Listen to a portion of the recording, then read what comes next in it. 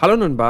நீங்கள் புதுசாக ஒரு லாங்குவேஜ் கற்றுக்கணும் நல்லா வரைய கற்றுக்கணும் இல்லை ரொம்ப கஷ்டமான நாலு வருஷம் யூனிவர்சிட்டி டிகிரியை ஒரே வருஷத்தில் முடிக்கணும்னா அதுவும் ப்ரொஃபஸர்ஸோட ஹெல்ப்பே இல்லாமல் தனியாக நீங்களே படித்து முடிக்கணும்னா நீங்கள் இந்த வேலையெல்லாம் முடிச்சு காட்டுறதுக்கு எந்த மாதிரி ஒரு அப்ரோச் எடுப்பீங்க? வெல் நம்மக்கிட்ட எந்த ஸ்பெஷல் டெக்னிக்ஸும் இல்லாததுனால அப்படியே கஷ்டப்பட்டு ஹார்ட் ஒர்க் பண்ணி படிச்சோம்னா இல்லை ரொம்ப ஃபோக்கஸ்டாக ஒர்க் பண்ணோன்னா இந்த விஷயங்கள் எல்லாத்தையும் ஃபாஸ்ட்டாக முடிச்சிருவோம்னு நினைக்கலாம். ஆனால் டூ தௌசண்ட் லெவனில் ஸ்காட் யங்குன்னு ஒருத்தர் அமெரிக்காவோட ஃபேமஸான எம்ஐடி காலேஜோட நாலு வருஷம் கம்ப்யூட்டர் சயின்ஸ் டிகிரி டிகிரியை பன்னெண்டே மாசத்துல முடிச்சு காட்டினாரு. வெல் ரொம்ப சூப்பரா ஃபோக்கஸ் பண்ணி ஹார்ட் ஒர்க் பண்ணி படிச்சதுனால யூனிவர்சிட்டியில அவர் அவ்வளவு சீக்கிரமா அந்த சிலபஸ் முடிச்சிருப்பாருன்னு நீங்க நினைக்கலாம். ஆனா அவர் அந்த யூனிவர்சிட்டிக்கு போகாமலே free YouTube videos courses and online resources வச்சு இந்த விஷயத்த படிச்சு முடிச்சிருக்காரு. சரி இந்த விஷயத்த ஒரு தடவை பண்ணிட்டாரு அப்படின்னு நினைச்சா இன்னொரு ஒரு கம்ப்ளீட்டான டிஃப்ரெண்டான ஃபீல்டுல அதாவது டிராயிங் இல்ல பென்சிலை வச்சு ஸ்கெச்சிங் பண்றத இவர் பிராக்டிஸ் பண்ணி கத்துக்கணும்னு நினைச்சாரு.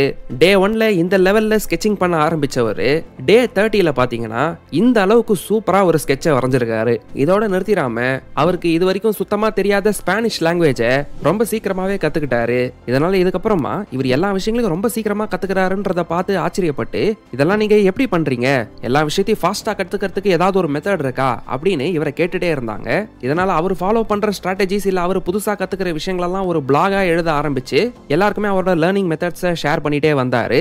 ஃபைனலா அதை அல்ட்ரா லேர்னிங்னு ஒரு புக்கா கன்வெர்ட் பண்ணி எந்த ஒரு விஷயத்தையும் ஃபாஸ்ட்டாக கற்றுக்கிறதுக்கு ஒரு நைன் பிரின்சிபல்ஸை நம்ம ஃபாலோ பண்ண வேண்டிய இருக்கும்னு அவர் ஷேர் பண்ணியிருக்காரு. அந்த நைன் பிரின்சிபல்ஸை பற்றி தான் நம்ம இந்த வீடியோவில் பார்க்க போகிறோம் ஸோ வாங்க ஸ்டார்ட் பண்ணலாம். நம்பர் ஒன் மெட்டா லேர்னிங் ஒரு மனுஷனா நம்மளோட நாலேஜை நாலு விதமாக பிரிக்க முடியும். ஒரு கிராஃபில் வர மாதிரி நாலு குவாட்ரண்ட்ஸை போட்டோன்னா அதில் ஒரு குவாட்ரண்ட்டில் நோன் நோன் செகண்ட் குவாட்ரண்ட்டில் நோன் அன்னோன் தேர்ட் குவாட்ரண்ட்டில் அன்னோன் நோன் அப்புறம் ஃபோர்த் குவாட்ரண்ட்டில் அன்னோன் அன்னோன்ற விஷயத்தை நம்ம பிரிக்கலாம். இப்போ ஃபஸ்ட்டு சொல்கிற இந்த நோன் நோன்னா உங்களுக்கு இந்த விஷயம் தெரியும்னு உங்களுக்கே தெரியும். அதாவது எனக்கு எழுத படிக்க வரும் பேச வரும் வண்டி ஓட்ட வரும்னு உங்களால் இதெல்லாம் பண்ண முடியும் தெரியும் பாருங்க. அந்த விஷயங்களை தான் நோன் நோன்னு சொல்லுவோம். எனக்கு இதெல்லாம் பண்ண தெரியாதுன்னு உங்களுக்கு தெரியும் பாருங்க. அதாவது சொந்தமாக என்னாலே ஒரு வண்டியை செய்ய முடியாது ஃப்ளைட்டை செய்ய முடியாதுன்னு உங்களுக்கு அந்த விஷயம் தெரியாதுன்னு உங்களுக்கே தெரியும்னா அதை நோன் அன்னோன்னு சொல்லுவோம். அடுத்து உங்களுக்கு வர சில விஷயங்களை நீங்கள் ஞாபகமே வச்சுக்க மாட்டீங்க. அதை ஒரு விஷயமா கன்சிடரே பண்ண மாட்டீங்க. அதை அப்படியே நேச்சுரலாக செஞ்சுட்டு இருப்பீங்க. ட்ரெஸ் போடுறது ஷூ சாக்ஸ் மாட்டுறதுன்னு இந்த மாதிரி நீங்க ரொம்ப யூஸ்வலா பண்ற விஷயங்கள். ஆனா அந்த அளவுக்கு உங்க கவனத்துல இல்லாத விஷயங்களை நம்ம அன்னோன் நோன்னு சொல்றோம். அடுத்து ஃபைனலா இந்த மாதிரி ஒரு விஷயம் எனக்கு இருக்கிறதே தெரியாதுன்னு சொல்ற விஷயங்களை தான் நம்ம அன்னோன் அன்னோன்னு கன்சிடர் பண்ணுவோம். இதுக்கு ஒரு எக்ஸாம்பிள் கொடுக்கணும்னா இன்ஜினியரிங் படிக்கிறவங்களுக்கு வந்து ஹெச் ஃபண்ட்ஸ்னா என்னன்னு தெரியாம இருக்கிறதுக்கு வாய்ப்பு இருக்கு. அதே மாதிரி காமர்ஸ் குரூப்போ இல்ல பயாலஜி படிக்கிற ஸ்டூடெண்ட்ஸுக்கு இன்ஜினியரிங் மேத்தமேட்டிக்ஸ்ல ஃபூரியர் டிரான்ஸ்ஃபார்மை யூஸ் பண்ணுறதுலாம் அவங்களுக்கு தெரியாம இருக்க நிறைய சான்ஸ் இருக்கு. அதாவது கிளாஸ்ல அந்த விஷயத்தை கத்துக்காத வரைக்கும் இந்த மாதிரி ஒரு விஷயம் இருக்குன்னே எனக்கு தெரியாதுடா அப்படிங்கிற ஒரு ஸ்டேட்ல நம்ம இருப்போம் பாருங்க. அதை தான் நம்ம அன்னோன் அன்னோன்னு சொல்றோம். ஸோ உங்களுக்கு இருக்கிற நாலேஜை இந்த மாதிரி நாலு விதமா செக்மெண்ட் பண்ணதுக்கு அப்புறமா மெட்டா லேர்னிங் ப்ராசஸ்ல நம்ம ஃபர்ஸ்ட் என்ன பண்ணணும்னா இந்த மாதிரி அன்னோன் அன்னோன்ஸா இருக்கு பாருங்க. அதை வந்து நோன் அன்னோன்ஸா நம்ம மாத்தணும். அதாவது இது இருக்குன்னே தெரியாதுன்ற நிலைமையில இருந்து இது இருக்குன்னு தெரியும் ஆனா டீட்டெயிலா தெரியாது அப்படிங்கிற மாதிரி ஒரு நிலைமைக்கு நம்ம கொண்டு வரணும். அதனால ஒரு டாபிக்கை பத்தி இப்ப புதுசா கேள்விப்படுறீங்கன்னா அதை ஃபர்ஸ்ட் நீங்க படிக்கிறதுக்கு முன்னாடி இது என்னது அப்படின்னு ஒரு நாலு கூகுள் சர்ச் இது எங்க யூஸ் ஆகுதுன்னு அதை பத்தி ஜென்ரலான விஷயங்கள் ஒன்று ரெண்டு யூடியூப் வீடியோஸ் இந்த மாதிரி எல்லா விஷயங்களையும் பார்த்து ஓ இதுதான் அது போல. இது நமக்கு டீட்டெயிலாக தெரியாது ஆனா இப்படிதான் யூஸ் பண்ணுவாங்க போலன்ற மாதிரி நோன் அன்னோன்ஸில் நீங்கள் கொண்டு வந்துடணும் ஃபார் எக்ஸாம்பிள் இந்த அல்ட்ரா லேர்னிங் புக்கே நீங்கள் படிக்கணும்னு ஆசைப்படுறீங்க. அதுக்கு முன்னாடி இந்த வீடியோவை பார்க்குறீங்கன்னா இதுவும் ஒரு மெட்டா லேர்னிங் ப்ராசஸ் தான். கிட்டத்தட்ட இதெல்லாம் பார்த்து ஒரு ஜென்ரல் ஐடியாவை கொண்டு வந்துக்கிட்டு உங்கள் பிரெயினை ப்ரைம் பண்ணி லேர்னிங் ப்ராசஸ்க்கு தேவைப்படுற கியூரியாசிட்டியை உண்டு பண்ணும் இன் ஷார்ட் ஃபர்தராக அதை பற்றி ரிசர்ச் பண்ண நீங்கள் ஆர்வம் ஆயிடுவீங்க ஏன்னா இந்த மெட்டா லேர்னிங் ப்ராசஸை முடிக்கும் போது உங்களுக்குள்ள நிறைய கொஸ்டின்ஸ் வரும். ஓ இது இன்ட்ரெஸ்டிங்காக இருக்கே அது இன்ட்ரெஸ்டிங்காக இருக்கேன்னு இந்த மாதிரி எல்லாம் தோணும். அடுத்து அல்ட்ரா லேர்னிங்கோட செகண்ட் ஸ்டெப் என்னன்னா ஃபோக்கஸை இம்ப்ரூவ் பண்ணுறது அதாவது கொஞ்சம் நெஞ்சம் ஃபோக்கஸ் இல்லை. மொத்தமாக அந்த விஷயத்தில் மட்டும்தான் ஃபோக்கஸ் பண்ணுறது ஸ்விம்மிங் பூலில் கொஞ்சம் கொஞ்சமாக காலை விட்டு தண்ணி ஜில்லுன்னு இருக்கா சூடாக இருக்கான்லாம் செக் பண்ணுறது இல்லை. டேரெக்டாக அதுக்குள்ளே டைவ் அடிச்சிடணும். அந்த அளவுக்கு அல்ட்ரா லேர்னிங் பண்ணுறப்ப டெடிகேட்டட் ஃபோக்கஸை கொடுக்கணும். ஏன்னா இந்த புக்கோட ஆத்தர் ஸ்காட் வந்து ஸ்பானிஷ் கற்றுக்கணும்னு நினைக்கும் போது இங்கிலீஷ்லேருந்து ஸ்பானிஷ்க்கு எப்படி மாத்துறது? இந்த வேர்டுக்கு இந்த அர்த்தம் என்ன? அப்படின்ற மாதிரிலாம் கத்துக்கல. நேரா ஃபிளைட்டை புக் பண்ணாரு ஸ்பெயினுக்கு போய் லேண்ட் ஆனாரு. அவரோட ஃப்ரெண்டையும் கூட கூட்டிட்டு போய் மூணு மாசம் நம்ம இங்கேயே தான் இருக்க போறோம். ஒரு வார்த்தை கூட இங்கிலீஷே பேச போறது இல்ல. ஸ்பானிஷ்ல மட்டும்தான் பேச போறோம்ன்ற மாதிரி ஒரு ஸ்ட்ராங்கான முடிவை எடுத்து டெடிகேட்டட் ஃபோக்கஸை கொடுத்து மூணு மாசத்துலயே ஸ்பானிஷ்ல நல்லா பேசுற அளவுக்கு டெவலப் ஆயிட்டாரு. அவரோட லாங்குவேஜ் லேர்னிங் ப்ராசஸ் வந்து ஸ்பெயினோட நின்றுடல அடுத்து பிரேசிலுக்கு போய் மூணு மாசம் இருந்து போர்ச்சுகீஸ் கத்துக்கிட்டாரு. சைனால மூணு மாசம் இருந்து மேண்டரின் கத்துக்கிட்டாரு. கத்துக்கிட்டாரு. கொரியால மூணு மாசம் இருந்து கொரியன் கத்துக்கிட்டாரு. பன்னெண்டு மாசத்துக்கு அப்புறம் ஒரு வார்த்தை கூட இங்கிலீஷ் பேசாம வேற வேற கண்ட்ரீஸ்ல இருந்து பழகி அந்த லோக்கல் மக்கள் கூட டீசெண்டா ஒரு கான்வர்சேஷனை மேக் பண்ற அளவுக்கு டே டு டே லைஃப்ல அங்க மக்கள் எந்த மாதிரி பேசுவாங்களோ அந்த மாதிரியே பேச ஆரம்பிச்சிட்டாரு. இன்ஷார்ட் அந்தந்த நாட்டுல இருக்க லோக்கல் மக்கள் மாதிரியே வாழ்ந்துட்டு வந்துட்டாரு. இந்த அளவுக்கு இன்டென்சிவான ஃபோக்கஸ் தான் அல்ட்ரா லேர்னிங் ப்ராசஸ்க்கு தேவைப்படுது. அடுத்து தேர்ட் ஸ்டெப்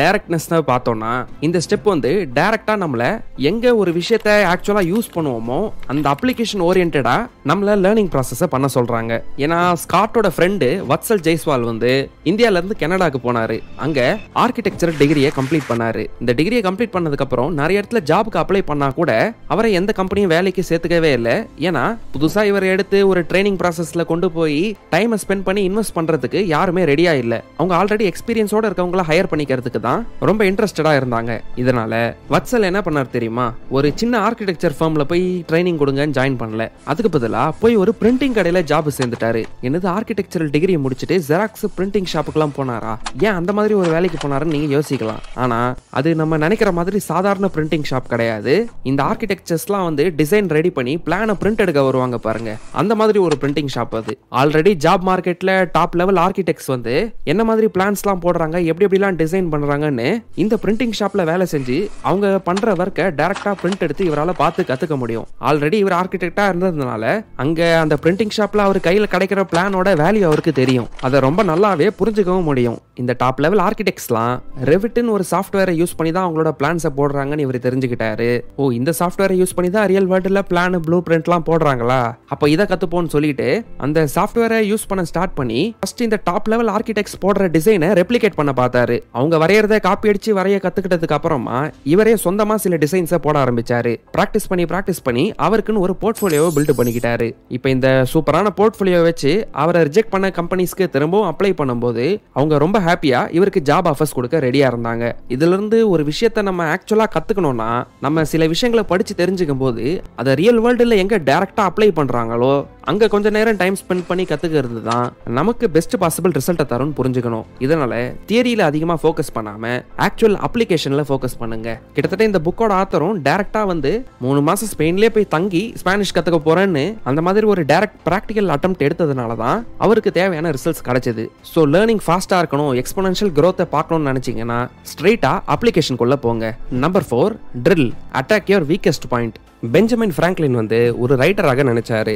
பிரச்சனை பிரச்சனை என்னன்னா அவரோட ரைட்டிங் வந்து ரொம்ப வேர்ஸ்டா இருந்தது. யார் யாருக்கெல்லாம் அவர் எஸ்ஏ எழுதி என் எஸ்ஏவை படிச்சு பாருங்க என் ரைட்டிங்கை படிச்சு பாருங்கன்னு கொடுக்குறாரோ அவங்க எல்லாம் அதை கம்ப்ளீட்டா படிக்கவே மாட்டாங்க.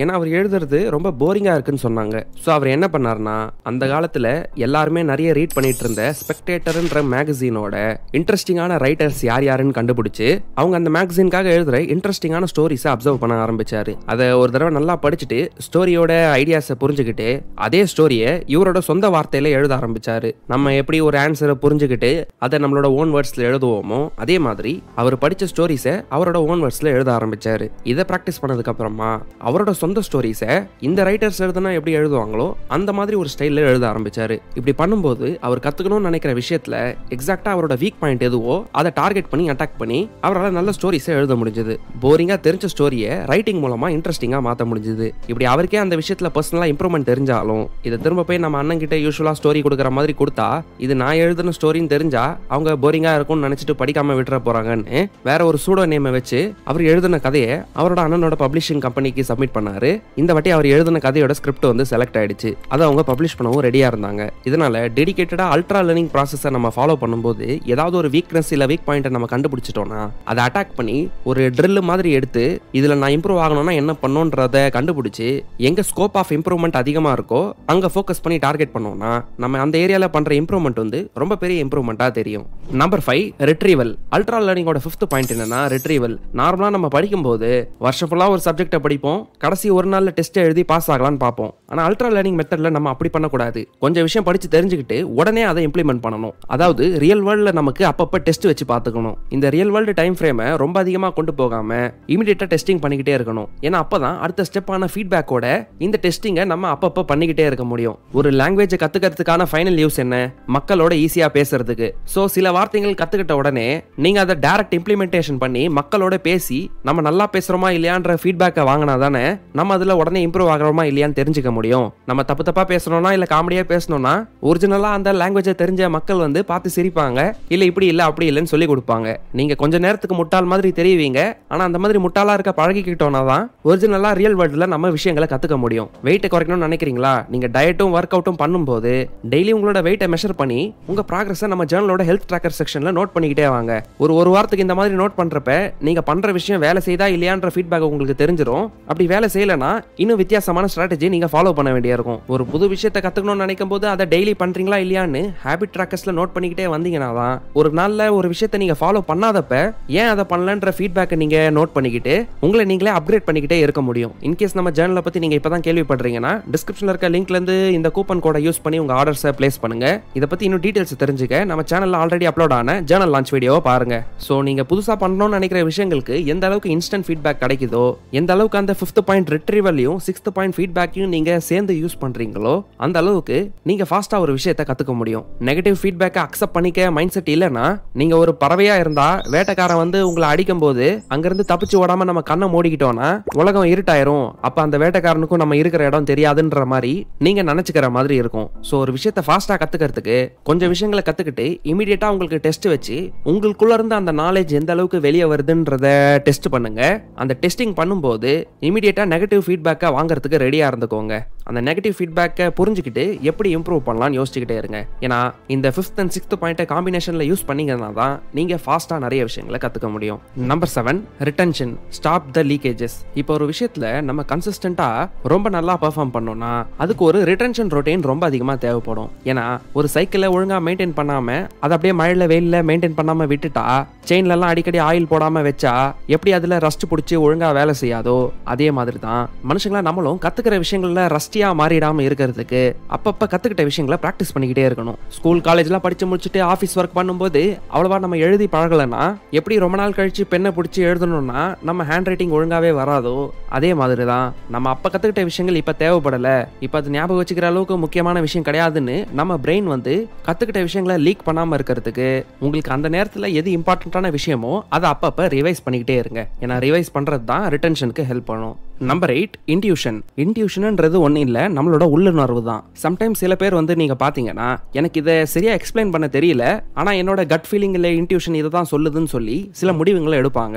அது நிறைய நேரங்களில் சக்ஸஸ்ஃபுல்லாக போய் முடியும். இந்த மாதிரி ஒரு இன்டியூஷனை உங்களுக்கு வர வைக்கிறதுக்கு நீங்கள் என்ன பண்ணணும்னா ஒரு விஷயத்தை கற்றுக்கும் போது அதை கற்றுக்கிட்டு நீங்கள் ரொம்ப சின்ன பசங்களுக்கு புரிய வைக்கிற மாதிரி உங்கள் ஓன் வேர்ட்ஸில் அதை மற்றவங்களுக்கு புரிய வைக்க ட்ரை பண்ணணும். நீங்கள் இந்த மாதிரி மற்றவங்களுக்கு புரிய வைக்க ட்ரை பண்ணும்போது ஏதாவது ஒரு நேரத்தில் ஸ்டக் ஆகுறீங்கன்னா அந்த நேரத்தில் உங்கள் சோர்ஸ் மெட்டீரியல் இல்லை புக்கை போய் படிக்கணும். இந்த மாதிரி நம்ம பண்ணும்போது நம்ம அண்டர்ஸ்டாண்டிங்க்கு ஒரு இன்ட்யூஷன் உருவாகும். இந்த விஷயத்த ஒரு பர்சனல் எக்ஸாம்பிள் மூலமாக சொல்லணும்னா பர்சனலாக நான் ஃபினான்ஸ் அண்ட் ஸ்டாக் மார்க்கெட்டை கற்றுக்கணும்னு நினைக்கும் போது நான் படித்து கற்றுக்கிற விஷயங்களை இந்த மாதிரி வீடியோஸாகவும் இல்லை கற்றுக்கிட்ட விஷயங்களை மற்றவங்களுக்கு சொல்லிக் கொடுக்கணுன்ற இந்த ஹேபிட் வந்து உங்களை திங்ஸை ரொம்ப சிம்பிளிஃபை பண்ண வைக்கும். அதை பேசிக் லெவலில் அண்டர்ஸ்டாண்ட் பண்ண வைக்கும். அப்போ இந்த மாதிரி ஒரு விஷயத்தை நீங்கள் தொடர்ந்து பண்ணிட்டு இருக்கும்போது உங்களுக்குன்னு ஒரு இன்ட்யூஷன் உருவாகும். இதனால நீங்கள் டெசிஷன்ஸ் எடுக்கும்போது இங்கே ஏதோ சரியா இல்லை ஏதோ தப்பா இருக்குன்னு ஒரு ப்ராப்பர் எக்ஸ்பிளனேஷன் இல்லாம கூட உங்களால சரியான டெசிஷன்ஸை எடுக்க முடியும். இதனால தான் சம்டைம்ஸ் வந்து டீச்சர்ஸ் வந்து ஆன்சர் ஷீட்ஸ் எல்லாம் கரெக்ட் பண்ணும்போது உங்களுக்கு பார்க்க ரொம்ப வேகமாக கரெக்ட் பண்ணி மார்க் போடுற மாதிரி தெரியும். ஆனால் அவங்க அதே விஷயத்த பல தடவை வந்து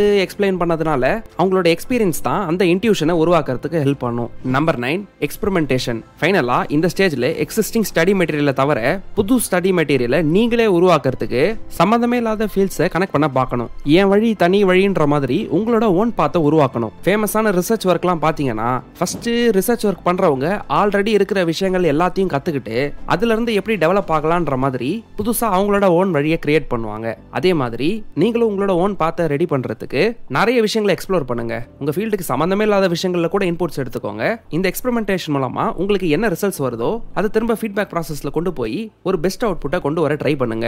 எக்ஸாம்பிளுக்கு சொல்லணும்னா பாடி பில்டிங்கும் பேலே டான்சிங்கும் டோட்டலா வித்தியாசமான விஷயம் தான் ஆனா அர்னால் பாடி பில்டிங்ல அவரோட போசிங் மெத்தட்ல இம்ப்ரூவ்மெண்ட் கொண்டு வரணும்னு ஒரு பேலே டான்சர் கிட்ட போய் ட்ரைனிங் எடுத்தாரு. பேலே டான்சர்ஸ் யூஸ்வலா வந்து அவங்க விரல் நுனியில நிப்பாங்க. அந்த அளவுக்கு கஷ்டமான விஷயங்களை பிராக்டிஸ் பண்ணவங்க கிட்ட இருந்து போசிங் ரிலேட்டடா சில ட்ரைனிங்கை எடுக்கும் போது அந்த விஷயம் அவரோட போசிங்ல ரொம்ப அதிகமா இம்ப்ரூவ்மெண்ட்டை கொண்டு வந்திருக்குன்னு சொல்லியிருக்காரு. இது எல்லாத்துக்கும் காரணம் எக்ஸ்பெரிமெண்டேஷன் தான். சம்டைம்ஸ் வந்து நீங்க பண்ற விஷயங்கள்ல ஒரு அப்பர் லிமிட்டை பாக்குற மாதிரி தெரியுது. புதுசா எதுவும் கண்டுபிடிக்காத மாதிரி இருக்குன்னா இந்த மாதிரி மற்ற ஃபீல்டோட சேர்ந்து எக்ஸ்பெரிமெண்டேஷன் பண்ணும்போது தான் நீங்க இம்ப்ரூவ்மெண்ட்டாக பார்க்க முடியும். உங்கள் ஓன் ஸ்டைலில் உருவாக்க முடியும். ஸோ புதுசாக ஏதாவது விஷயங்களை கற்றுக்க போகிறீங்கன்னா இந்த அல்ட்ரா லேர்னிங் மெத்தடில் இருக்க நைன் ஸ்டெப்ஸை ஞாபகம் வச்சுக்கோங்க. உங்களுக்கு தேவைப்பட்டா இதை ஒரு ஸ்க்ரீன்ஷாட் எடுத்து வச்சுக்கோங்க. உங்களுக்கு இந்த வீடியோ பிடிச்சிருந்தா லைக் பண்ணுங்க கமெண்ட் பண்ணுங்க உங்கள் ஃப்ரெண்ட்ஸ் அண்ட் ஃபேமிலியோட ஷேர் பண்ணுங்க. சேனலில் இருக்க அதர் புக் சம்மரிஸை இங்கே கிளிக் பண்ணி பாருங்க. சேனலுக்கு இன்னும் சப்ஸ்கிரைப் பண்ணலாம் சப்ஸ்கிரைப் பண்ணிட்டு அந்த பெல் ஐக்கான கிளிக் பண்ணுங்க. எங்களை வாட்ஸ்அப் இன்ஸ்டாகிராம் அண்ட் டெலிகிராம்லையும் ஃபாலோ பண்ணுங்க. கடைசியா தேங்க்யூ ஃபார் வாட்சிங்